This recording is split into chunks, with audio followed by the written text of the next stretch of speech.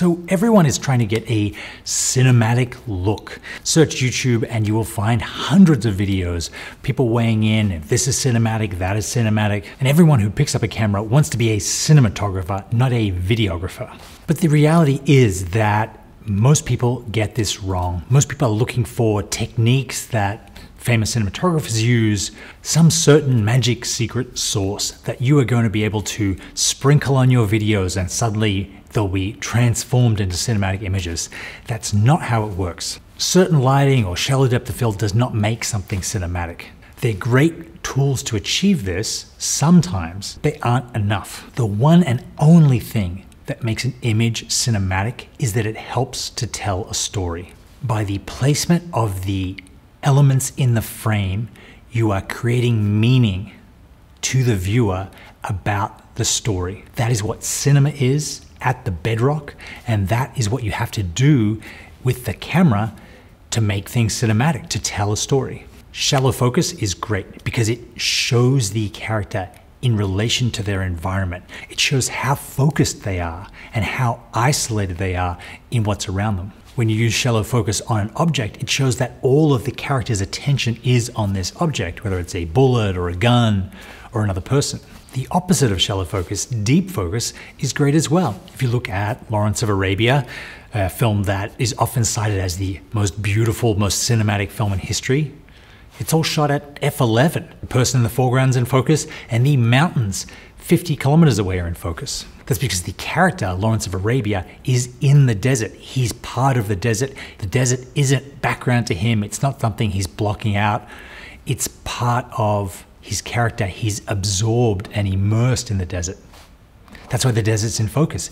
The filmmakers are telling us that this man is becoming part of his environment. That's why they're both sharp. Far side key lighting is great because it is a way of connecting the character to the background. The background is lighting the character, connecting them. It's affecting the character. The character is in the environment when they're lit from a far side key. Having a shadow side and a key side to the character is a way of giving them shape, showing duality, showing context, Near side key lighting is also great when you light the character from behind camera. When it lights their eyes brightly, it shows every pore and every hair. You show that they're fully awake and aware of the world that they're in. They're fully conscious. The famous orange teal color grading works really well when you're trying to show a human, living, breathing character in a cold, unfeeling, inhuman environment. If you're just dropping on a LUT to make it look cool, it says nothing at all. It's not cinematic because you're not telling a story. You're just creating light and color. Crazy, blown out Bob Richardson style halo lighting works really well when you're showing a character has an epiphany or showing that they're special or connected to some higher power. But if you do it on every single character in the film, it loses its meaning. It loses its ability to tell a story for the audience. Big, soft overhead sources are great when you're trying to communicate dreaminess and softness of the character. Maybe something about their youth or their innocence or the dreamlikeness of their existence. And deep, blown out silhouettes are great when you're trying to communicate something ominous or something dark about the character. Look at this shot from Clockwork Orange.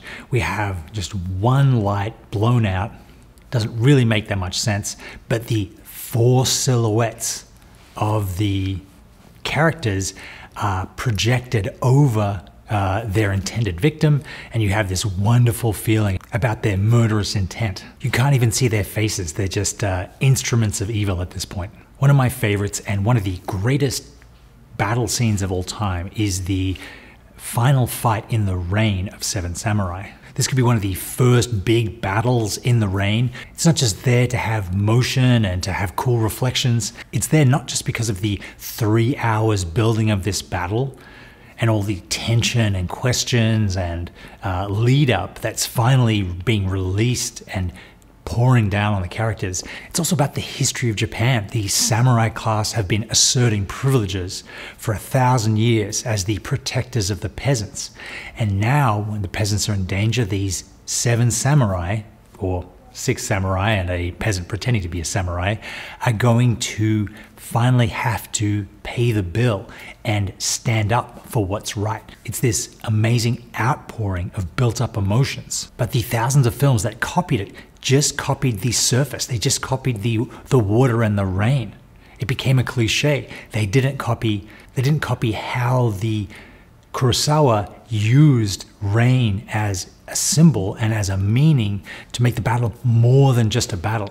The point I'm trying to get across here is that cinematography is all about telling stories through images, not just creating images that look cool or creating beauty for the sake of beauty. When you see a scene or an image that affects you, look past the surface, look past where the lights are or what the color palette is, and look to why the filmmakers chose that color palette or that lighting style. Look at how they use the techniques to create relationships between the foreground, the subject, the background, Look at the symbolism, look at the color theory. That is what is going to make your work cinematic. That is what is going to make your work meaningful. If you're interested in more content like this, I have a website called Canon Masterclass where I have over 20 longer form tutorials about the theory and techniques of filmmaking. There's a ton of camera specific tutorials for the Canon cinema system, as well as cinematography and filmmaking generally.